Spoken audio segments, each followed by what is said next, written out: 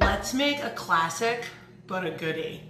Um, I needed a different side veg. I am sick of just sauteing some greens or roasting some cauliflower.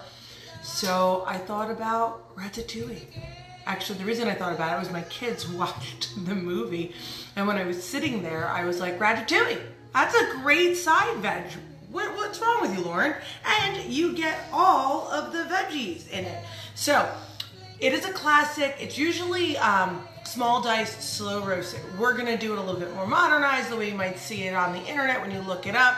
But we're gonna use a beautiful cast iron pan and we're going to cut them in circles, make it really pretty and colorful, and then finish this in the oven. It takes around 45 minutes. This is not like a quick side dish. This is something that all the flavors mend together. It's built in layers.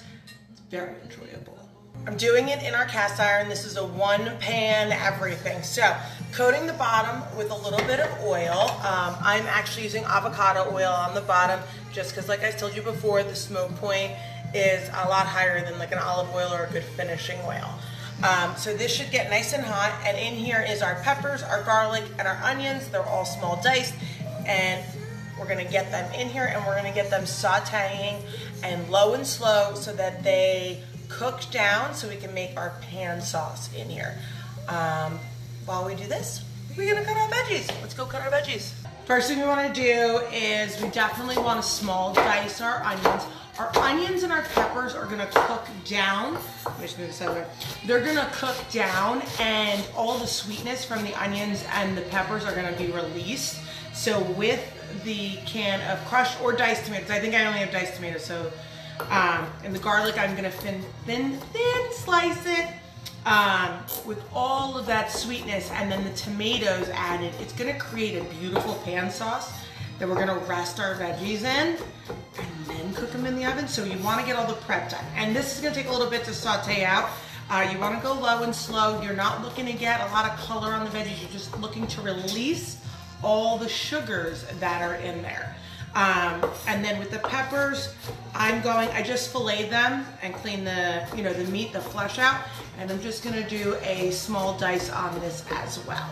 Let's cut all the peppers. To make it look really pretty in that circle, we're gonna cut all the veggies into circles. So zucchini, I just trim up the top and the bottoms. You don't have to go crazy with them. Um, if you had stock that you're making at home or broth, or let's say like this was Sunday and you saved your veggie scraps, you can also compost them, however you want to do it.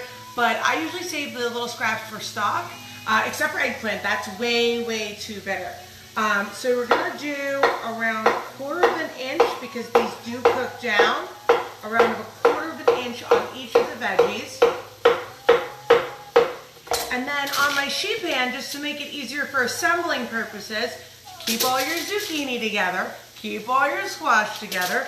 Keep all your eggplant together and tomatoes because then we'll just boop, boop, boop, put it together. But just so you could say, around a quarter of an inch on that. Our peppers, onions, garlic have cooked down. As you can see, it's like super, half the size pretty much of what I put in originally.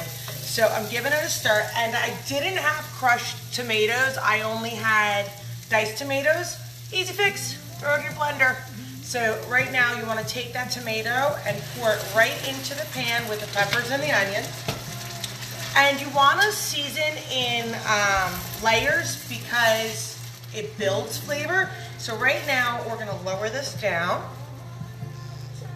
There we go, to a simmer. And we're just to add some thyme. I've shown you before, pinch the top and the leaves come right off. So I'm using around I'm gonna use three sprigs.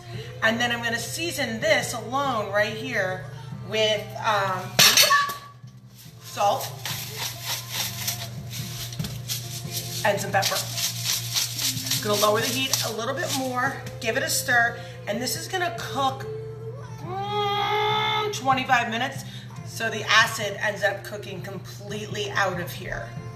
So this has been going for around 25 minutes and I just tasted it. It does need a little bit more salt. Tomatoes need salt, so please, when you do cook with tomatoes, taste your food because you'll be surprised on how much salt tomatoes actually take. And just add a little more pepper. So now we're gonna give this a stir. It's really, I mean, it smells outrageous in here and this cooked down. Now we're gonna go back over to my cutting board, uh, take this off the heat. We're gonna layer the veggies on, sauce it, and you'll understand what I mean by sauce it, and then get it in the oven. So. Okay, so we have our base sauce in the pan. All of our veggies, look how colorful, all cut up. So now what we wanna do is start from the outside of the pan and you want to put them around layering the colors. So we're going eggplant, squash, zucchini, tomato. Eggplant, squash, Ooh, see, I even did it wrong. Squash, zucchini, tomato. So we're gonna go all the way around and then the inside and then I'll show you the little sauce, gremolata, little like herb vinaigrette that we're gonna pour on top before we throw it in the oven. So our ratatouille is assembled in our pan. This is hot, nope. So you can see it's so colorful, isn't it? So now we're gonna make like a little sauce to go on top. So I'm putting in rosemary, which I'm going to just pinch the top and pull. I'm giving it all a real good chop. The only thing I really don't have to really chop well is um, the thyme. So I have a little bit more time to go, but put it all together.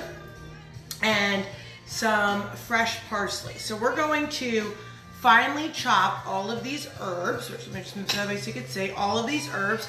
And then in the bowl, I have olive oil. I'm gonna season it with salt, pepper, a couple red chili flakes, and then we're gonna pour it on top. Um, so I pretty much used two sprigs of fresh rosemary. They were cut in half, that's why it looks like there's four, but it was only two. And two really large sprigs of um, thyme. So we're going to drop the stem in there, get this to a good chop. I want to show you from this angle before it goes in the oven. We poured our olive oil with fresh herbs. On the top, our veggies are all ready. Remember, our sauce is the base. It's in my cast iron. I put it on a sheet pan just because I like to work cleaner and safer just in case something happens. This is going in the oven for 45 minutes at 350 uncovered. See you when it's done. Just took it out of the oven. Our ratatouille has been in there for 45 minutes. We're gonna let it rest. It smells so good. And how pretty is this for a side dish? You can definitely do this ahead of time. Bring it to a party, just, you know, in the pan and just finish it up warm. You can almost serve this room temp as well. Just FYI, gonna top with some fresh basil and be ready to serve. I almost don't want to touch it before dinner because it's so pretty.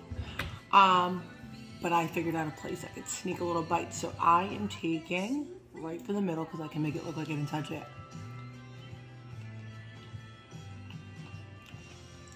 That's nice.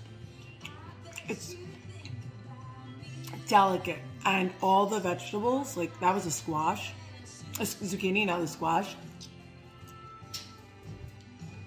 really held their integrity. Like, has a really nice crunch. Okay, let's fix it so it doesn't look like I tried it. I want like bread to sop it all up. So good. If you try it, tag us please. We would love to see it. Great side dish. Bring it to a party. Ratatouille. Gorgeous. Follow us on TikTok and follow us on YouTube for more recipes. Enjoy!